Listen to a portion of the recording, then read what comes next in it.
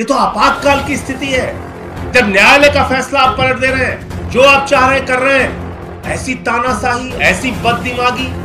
जो अध्यादेश कल रात में आया है तो ये अध्यादेश कहता है कि चाहे दिल्ली की जनता केजरीवाल को चुन के भेजे लेकिन दिल्ली को केजरीवाल नहीं चलाएगा। दिल्ली को केंद्र सरकार चलाएगी। भारत के प्रधानमंत्री नरेंद्र मोदी जी ने एक बार फिर ये साबित किया है कि वो एक तानाशाह है, न लोकतंत्र मानते हैं, न सुप्रीम कोर्ट मानते हैं, न संविधान मानते हैं।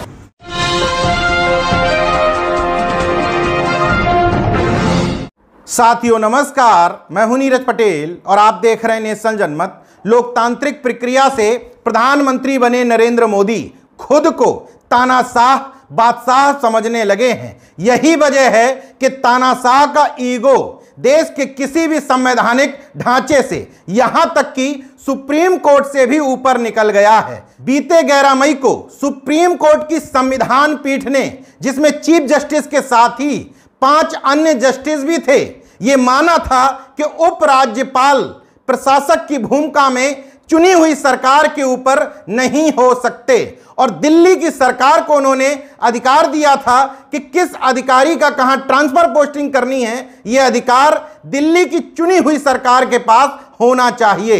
इस निर्णय के आने के बाद बादशाह का ईगो हर्ट हो गया। और आनन फानन में बादशाह यानी कि मोदी सरकार एक अध्यादेश लेकर के आई। खैर, ये बताना तो अब व्यर्थ ही हो गया है कि उसमें राष्ट्रपति का अनुमोदन भी हो गया। केंद्र सरकार कोई भी अध्यादेश चोरी छुपे रात के अंधेरे में 12 बजे लेकर के आए, वो संवैधानिक हो या ना हो, लेकिन उस अध्यादेश पर राष्ट्रपति को अपनी मोहर लगानी ही लगानी है। तो मोहर लग गई और अब जो अध्यादेश आया है, उसने फिर से उपराज्यपाल को दिल्ली के प्रशासक के रूप में नियुक्त कर दिया है। मतलब कोई भी ट्रांसफ़र पोस्टिंग होगी, उसमें अंतिम निर्णय लेने का अधिकार दिल्ली की चुनी हुई सरकार के पास नहीं, बल्कि दिल्ली के उपराज्यपाल, यानी कि केंद्र सरकार के पिट्ठू के पास होगा। रात के अंधेरे में बादशाह का ईगो संतुष्ट करने के लिए जो अध्यादेश लाया गया है, उस अध्यादेश के तहत राष्ट्रीय राजधानी सिविल सेवा प्राधिकरण की स्थापना की गई है, जो ट्रांसफ़र, पोस्टिंग, सतर्कता और अन्य प्रासंगिक मामलों से संबंधित विषयों के संबंध में दिल्ली के उपराज्यपाल को सिफारिश करेगा।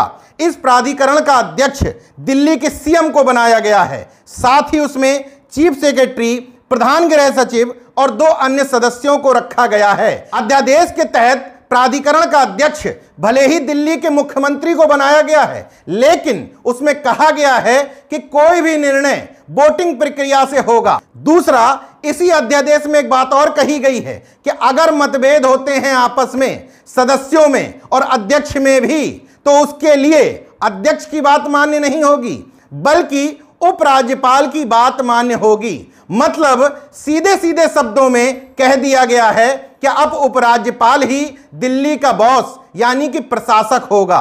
इस मामले को लेकर आम आदमी पार्टी सीधे सीधे प्रधानमंत्री नरेंद्र मोदी पर हमला कर रही है और उनको तानाशाह है। क्रूर प्रशासक, जाने किन किन शब्दों से नवाजा जा रहा है। आम आदमी पार्टी के राज्यसभा सांसद संजय सिंह का गुस्सा इन शब्दों में सुना जा सकता है। जब न्यायालय का फैसला आप पलट दे रहे हैं, ये तो आपातकाल की स्थिति है कि जो आप चाह रहे कर रहे हैं। ऐसी तानाशाही, ऐसी बददिमागी तो इसलिए ये जो फैसला आया है ये सीधे तौर पे बताता है कि भारत के प्रधानमंत्री को न इस देश के लोकतंत्र में यकीन है, न इस देश के संघीय ढांचे में यकीन है। भारत के प्रधानमंत्री को न इस देश के चुनी हुई सरकारों में और जनता की सुविधाओं देने में, सुविधाएँ देने में यकीन है और ना ही भारत के सर्वोच्च न्यायालय और संविधान में यकीन है। उनको सिर्फ़ तानाशाही करनी है। उनको सिर्फ़ डंडे से सरकार चलानी है। जो अध्यादेश कल रात में आया है तो ये अध्यादेश कहता है कि चाहे दिल्ली की जनता केजरीवाल को चुन के भेजे, चाहे दिल्ली की जनता अरविंद केजरीवाल को विधानसभा में 90 प्रतिशत की ज़्यादा से ज़्यादा सीटों से जिता के भेजे, लेकिन दिल्ली को केजरीवाल नहीं चलाएगा। दिल्ली को केंद्र सरकार चलाएगी। ये कहता है ये अध्यादेश जो रात के अंधेरे में कल केंद्र सरकार लेकर आई। मोदी सरकार के इस अध्यादेश के बाद फिर से न्यायपालिका, कार्यपालिका, विधायिका के बीच शक्तियों के बंटवारे को लेकर के बहस छिड़ गई है। आम आदमी पार्टी का मानना है कि केंद्र सरकार को इस तरह का अध्यादेश जारी करने का अधिकार ही नहीं है, जिसमें सुप्रीम कोर्ट की संविधान पीठ ने कोई निर्णय दिया हो। सुप्रीम कोर्ट की संविधान पीठ, जिसकी अध्यक्षता चीफ जस्टिस डीवाई चंद्रचूड़ कर रहे थे 11 मई को अपना निर्णय देते हुए उन्होंने कहा था, दिल्ली में सभी प्रशासनिक मामलों से सुपरविजन का अधिकार उपराज्यपाल के पास नहीं हो सकता। दिल्ली की चुनी हुई सरकार के हर अधिकार में उपराज्यपाल का दखल नहीं हो सकता। अगर किसी राज्य में कार्यकारी शक्ति केंद्र और राज्य के बीच बटा हुआ होता है तो यह देखना चाहिए कि राज्य के कामकाज पर केंद्र हावी ना हो जाए। अगर ऐसा होता है तो यह संघी शासन प्रणाली और लोकतंत्र के मूल्यों के खिलाफ होगा। आदर्श स्थिति तो यह है कि सेवाओं से जुड़े मामले दिल्ली सरकार के पास होना चाहिए।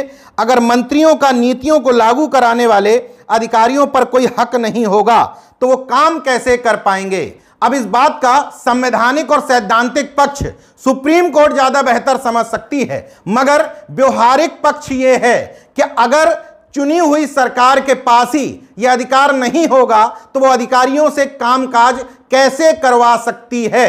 अगर मोदी सरकार अन्य केंद्र शासित प्रदेशों का हवाला देते हैं तो उसमें और दिल्ली की स्थिति में अंतर है। देश के किसी अन्य केंद्र शासित प्रदेश में चुनी हुई सरकार नहीं होती है। वहाँ उपराज्यपाल भेज दिया जाता है, उसी के माध्यम से सरकारें चलती हैं। मगर दिल्ली में चुनी हुई सरकार होती है, जिसको जनता चुन करके भेजती है। तो लोकतंत्र में चुनी हुई अधिकार के पास ज़्यादा शक्तियाँ होनी चाहिए।